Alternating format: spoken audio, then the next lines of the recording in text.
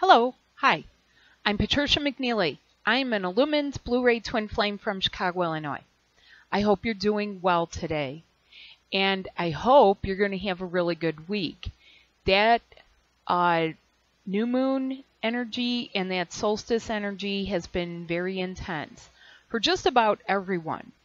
And I want to let you know what the good news is about it. This is closure the twin flamey way.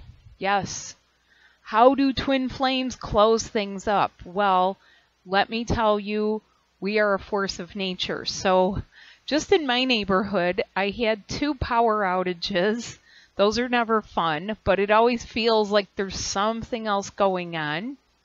There's also things with the weather where, you know, we had some 90 degree days. It was time to turn on the air conditioners and the fans and things like that. And by the way, that did not send the power out. But then after a few days, it jumped right into September for some reason. And a lot of this has to do with the change in the weather patterns here. You can actually see the wind comes from one direction and then it starts to come from the other direction. This happens a lot at the change of the seasons. Why? Because it's about balancing.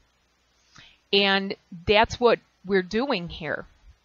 So this closure, this is from now until August, closing old timelines. This is going to be really ancient stuff. Not just closing out your childhood or stuff with your family. This is going to be ancient timelines. This is going to be those of you who identify with certain cultures, ancient cultures. It could be ancient Sumeria. It could be ancient Persia, ancient India, ancient Peru, ancient uh, Mayan culture, like in the Yucatan in Mexico. That's in Mexico, by the way, where, by the way, you can still go there. There's no wall. Anyways, uh, you might have a connection to a lot of you ancient Atlantis. Atlantis. You're going to have connections to some of the same angelic tribes that brought you here. And why here? Because there were promises being made, and those promises are now coming to bear fruit. So, closing timelines, old cultures, traditions, and such. This is going to be rituals. This is going to be things where you just blow th- right through a level and certain things just don't work for you anymore. Not only do they feel neutral, you may feel like you go backwards on them and you might say, Why am I repeating things? or Why isn't this working for me? And you have to find what's new. The other thing that's going on with this energy, you are transcending what's been up in the air and grabbing back what is yours with gusto, con gusto. Yes, you have to be able to grab back what is yours. What does that mean? What that means is for a lot of you, it's your freedom, it's your sovereignty, it means liberating yourself. But it could mean other things too. It could be what if there's a rumor in the air? Or what if there's something you're thinking but it comes true? And something like you keep wishing that you were free or out of a relationship and suddenly it's time to get out of that relationship. Or what if you suspect something and you find it out? Okay, it's been up here, it's been in the air, or someone says it to you. And this is another thing to notice. How balanced are you? Because this is about balance, it's about temperance.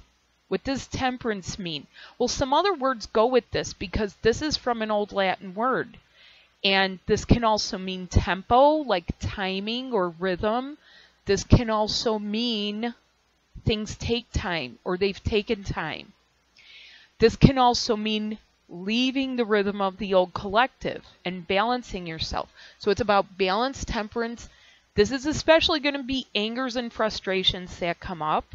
And I have a few stories to share. Frustration on both sides of your union. Your twin can be getting frustrated. Your twin may be having angers popped out or triggered out of you. You might be. Or people around around you might want to pick fights and you might not have noticed it before. but all of a sudden it's noticeable. You're feeling it, and it doesn't feel good. And you're wondering why? Why? Why would, you know, people suddenly behave this way? Well, one of the things is you simply don't belong there in that level. You are leaving the old paradigm and you're firmly leaving it behind. But catching behaviors, catching yourself, and balancing yourself, that's a bit of the challenge here. Not rising to the occasion. Choosing what when is it time to take arms and when is it not. Okay? That's a tough one because for a lot of people, they've been riled up into doing something about something, about a cause, about a charity, about this or that, some other injustice. Well, now is the time where you look at yourself and you get yourself balanced. This is about the alchemy of the masculine and the feminine, and this is it for good, not just for good works. This is it.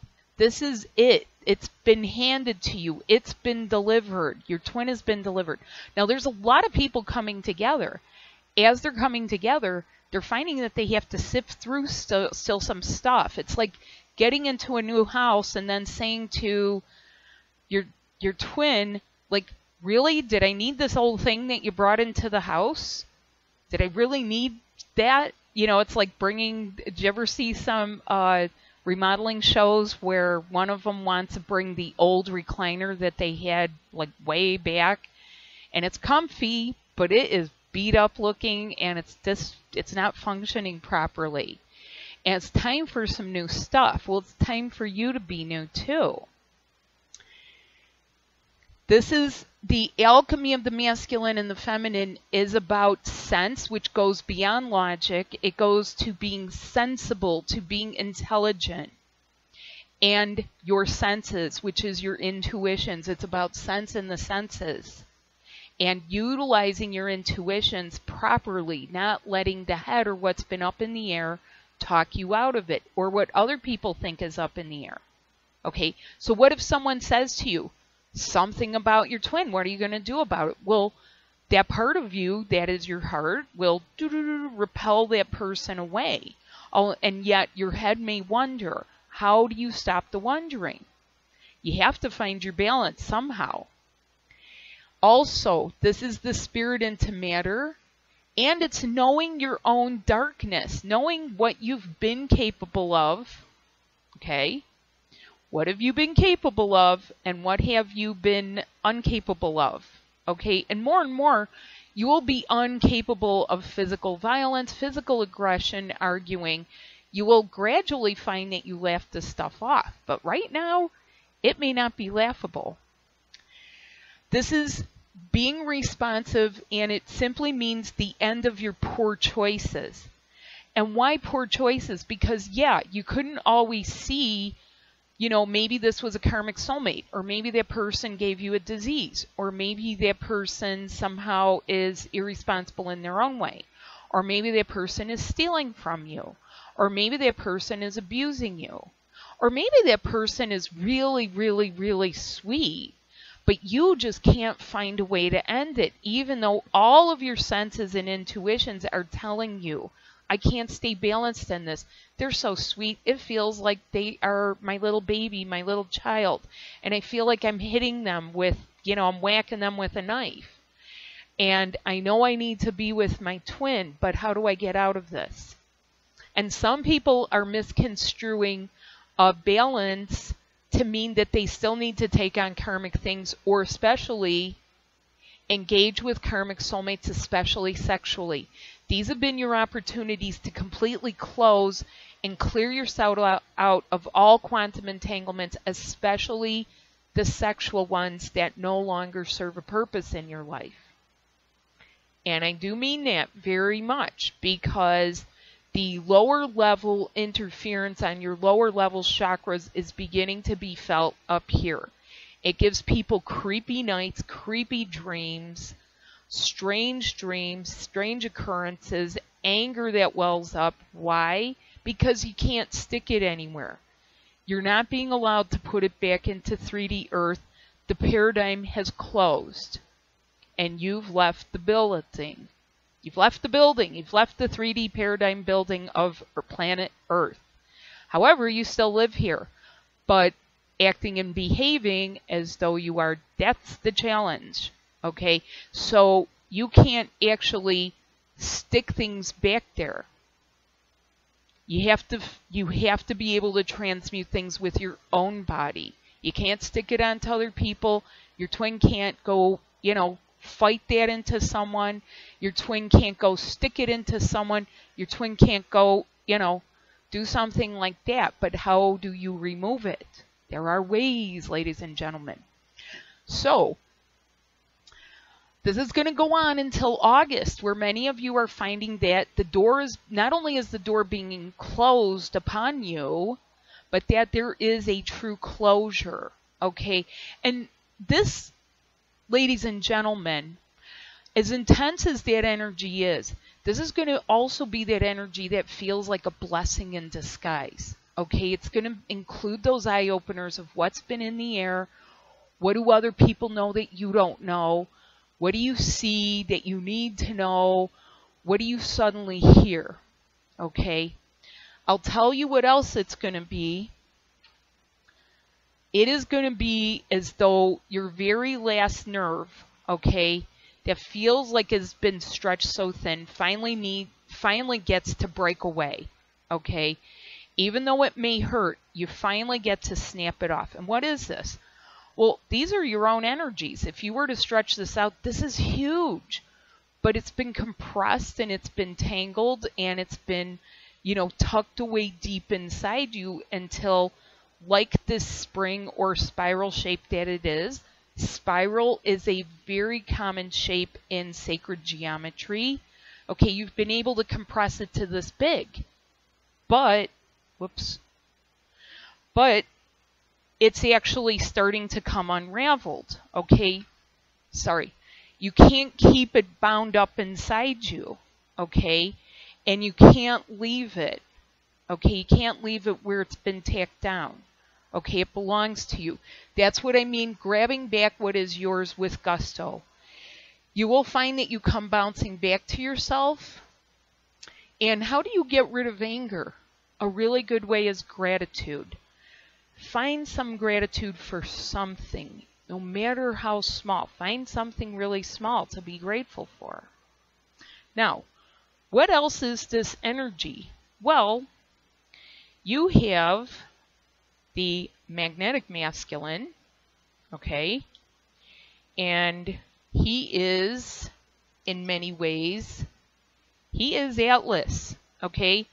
He has been holding the world on his shoulder, okay? And he has been dang tired, okay? And finally, you get to take the world off your shoulders and drop it like a hot potato. Okay, I won't actually drop this, but you get the idea. You're not holding the weight of the world on your shoulders. You're not responsible for everything. You're not here to clean up everything. You're not here to fix everything. You're not here to save humanity, even though it feels that way, even though people get like, da da da, I've got the power and I can do this. Guess what? You need to fix yourselves first. And you need to finish this. That is what is meant by closure, okay? And that is why many of the ladies may be feeling very bloated, very full. You might feel bloating along your solar plexus, along your gut. You might feel like you're nine months pregnant and you're not pregnant. Why? Because you are helping the magnetic masculine that belongs to you both bring up inside your body. And yes, push away. So, yes, as you do this, you're pushing away the things that you don't no longer want near your union. Okay? How do you get your metabolism to shift though? Why are you sluggish? Why? Because you may still need to close out some things in 3D, even as you leave the paradigm. Okay? And I had said this um, actually quite a ways ago, I found this that I wrote back in April of 2016. The blue golden people, yes, those are you who have been here in the time of Atlantis. You are New Earth people. You've been New Earth people for centuries and lifetimes. You've brought yourself in from the four corners of the universe from 2014. The solstice is the beginning of the finishing. Your old persona is dying off. Okay? And a lot of these weird dark energies, these have been coming out for a lot of people. Now, if you want to review it, you can go look it up. But on my videos, okay, you have to go back a little bit, look that up, and you'll find out what is this energy closing out. This is this is where you started finishing now I learned this with angelic things, with the higher realms. You start finishing something before you can come to a conclusion and be concluded with it, and then closure. Okay, a lot of you think that, well, I closed that. Well, no, you need to finish the finishing part of the finished part and just finish it and then conclude it and then close it. Okay, that's how it works. And that sounds like really something, but this gives people the grace period that they need to overcome fears, to overcome either real or perceived obstacles, to get out of the energy that has been like the Eight of Swords, where, you know, that's the blindfolded woman and she's there got swords around her, but there's opening right right in front there. Okay. I want to talk a little bit about anger. Why anger? Because a lot of you, your bodies can't hold it there are important parts of you that need to hold each other. Okay? So, anger. Now, it's commonly thought that, you know, maybe only one gender or the other expresses anger. Okay? Everyone has had it, everyone has been provoked, almost everyone has been abused in some way, if not this life, some other life. And there's residue from these other lives. And there is the anger that has been so rageful that it has needed to be tempered. Okay? It has you that's when people temper their temper or temper their anger. I used to work years ago at this place and it was an auto shop. And we had not just once, but three separate times a car in that someone's girlfriend had torched. Now that's called arson in most countries, and that is illegal. Okay, and it is irrational, and yet it is one of those things where the anger and the fire flares up so much that someone is angry at something someone did or they perceive that someone did it and they cannot control themselves. You have no control. Now, a lot of you have not only learned that you can't control, but you can respond. And that by losing control or trying to control and hold things rigidly, which includes your twin, especially your twin, you cannot control them, you cannot force them. You magnetize them. Okay? I once, years ago, also had a young man that came in and he had owned a house and what had happened is he said, "Well, there's a, been a fire in the kitchen, and I I needed to find out, you know, if I can get a loan to, you know, try and get this fixed, you know, and and we wanted to get his stuff fixed, okay? As it turns out, because of him meeting someone else the ex decided to set fire to his house and started in the kitchen, at which point the fire department came and put it out. Okay? And that's also called arson, and it's illegal.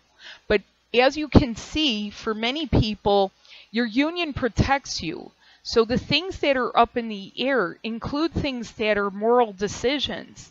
You know, is it moral? Is it legal? But is it immoral? Is it immoral but it's there's sort of a gray area there. Are you tempering yourself to see both sides of the situation? Are you understanding? And this is the bottom line for twin flamey people, okay? The twin flamey way is what about my twin? That's what you say. You don't want to care about all the rest of the world and how they've handled their anger. You have to be able to say, how is this affecting my twin? Or is it? And you may not even know. You might be ranting and raving and going through your emotional stuff. And just like this depicts, woo, woo, woo, woo, woo, up, down, up, down, up, down. Or there's a shoe on the other foot, too. I once um, have been privy to seeing some fistfights where it has gotten out of hand with some males. And you would think they had turned into two rams butting each other's heads, not really getting anywhere. Okay? I once saw an awful fight in a parking lot. It was awful. And yet, you can't always intervene when someone is in that state of rage because people take on superhuman strength. Why? I'll tell you why. Because many of you are angelics without knowing it. And drawing in your fifth dimensional strength and anger makes you very dangerous. And that, my friends, is not being allowed into your union. So, yes, many people have gone into this temperance mode. And while you ebb and flow away from each other, your emotions are sometimes going through a roller coaster to let this stuff thread out of you. Let it thread out. Let the bad film come out. Okay? Just let it out. And there are ways to get yourself balanced again. There are ways to hold your union energies, to hold your masculine or to hold your feminine. Now that's where I come in and that's what I teach. That is what I am teaching through my Blue Infusion courses. I will have one June 30th at 7 p.m. That's a Friday evening here in Chicago. It's early evening on the West Coast. It's afternoon in Hawaii, or um, it is, I think, um, early in the morning in places like India, Australia. Or it's the next morning, actually, Saturday morning. And July 1st at 9 a.m., that's a Saturday morning. If you're in Europe, that's your afternoon. And I'm getting your upper channels open. I'm answering your questions. And how do you know how do you do some of these things? Just join and participate. Now, if you don't that is a group situation, you can participate as much as you want or as little as you want. You can turn your webcam off and just listen. That's what some people do. And I do provide you with support materials for that. You can also try my Return of Your Life. The important things here daily living in multidimensionality because as you leave the old paradigm, you will become more and more aware of being here and being there and being here and being there and not being a part of here and needing to breathe in different ways, needing to eat in different ways. Why the bloat? Why this? Why is your metabolism sluggish? Why are you having uh, tolerances with different things, people, places, your club, your meditation group? Why is it suddenly starting to annoy you, irritate you? Well, find out about daily living in multidimensionality. Also, being home with each other. This is preparation for you to not only to be together, but to gear up the parts of you so that you can fly with each other, merge with each other very easily, and begin to go to the next dimension. So that is coming up for a lot of you August. Okay.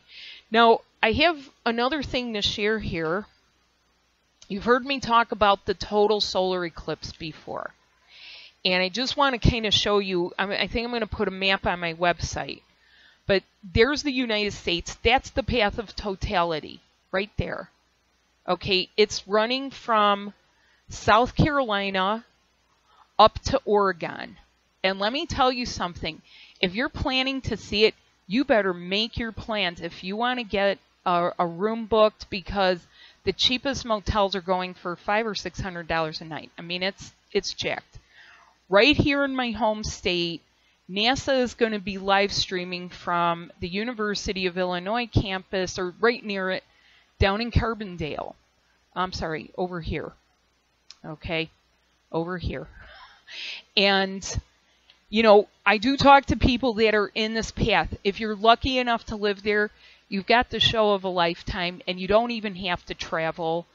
And I highly encourage you to just view it. I mean, it's something to tell people about. I happen to be very into astronomy.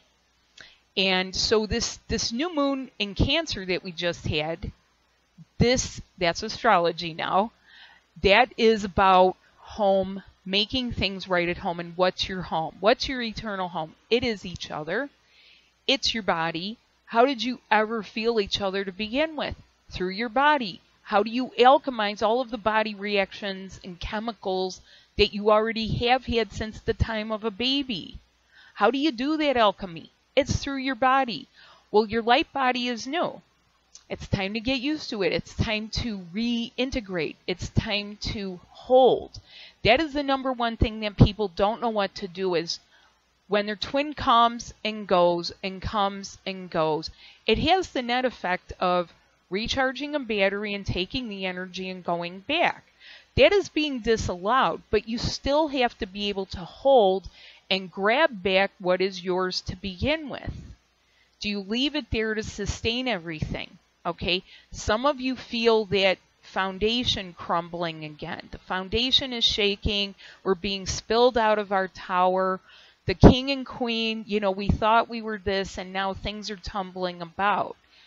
You're in the washing machine, okay? You're not. You are actually releasing the things that you are not carrying with you.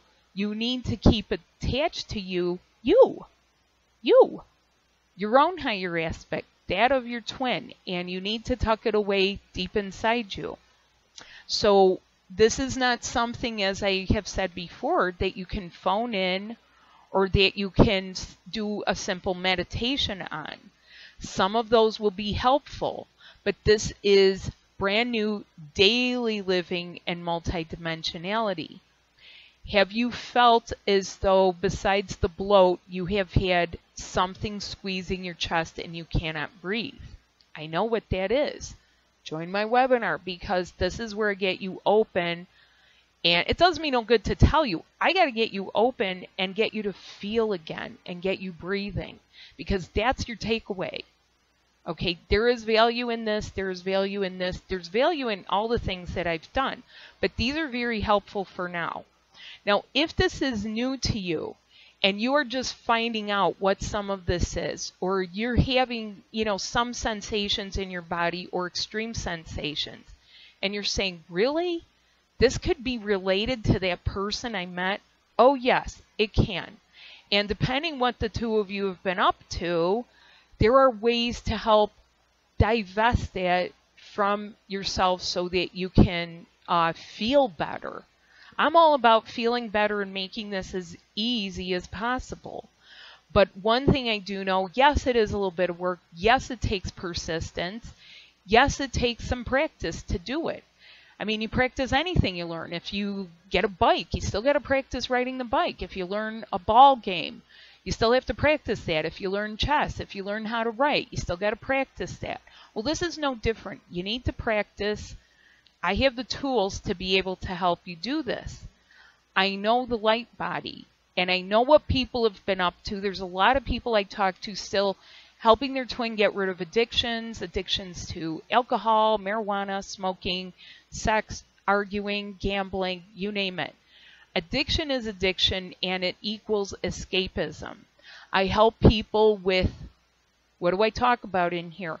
The mental emotional attachments, the things that some of you people call narcissism, and I'll say it again here, I call survivalism. But how do you get your twin out of survival mode where they feel you also and stop this what seems like a one-way street where you're feeling everything they do and then they look at you very cold and distant and say, I don't know what you're talking about. Yeah, I, I don't know.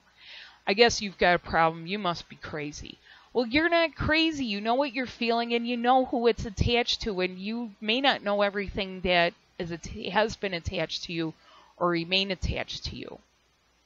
Stop looking outside. Find the ways to get this going on the inside. These these two are viewable 24/7 with this, um, it also has a lot to do with your manifester. What is your manifester? That is your causal body.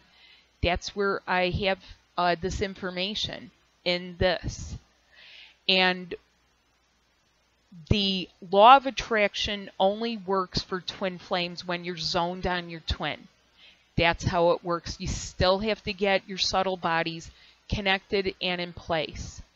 And that is what I'm here for. I do also do one on one sessions. I will do follow ups and I also do uh, body work. I can do that in person if you happen to be in Chicago. And rather than get letting things get on your last nerve, why not give it a try? So the links will be down below. Thank you so much for watching. I hope you have a wonderful week. Bye now.